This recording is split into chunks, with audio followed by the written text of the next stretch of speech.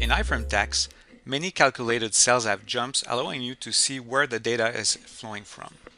So we'll take for example this T1 form and scroll down to the line numbers here.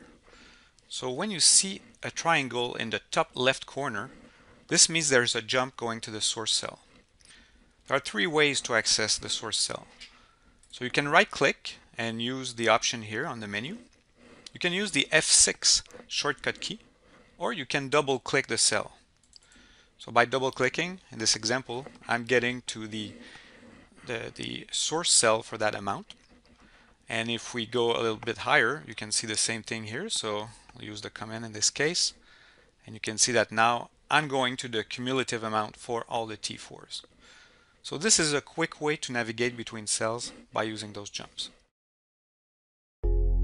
If you have any questions, please contact us at learning at wolterskluwer.com.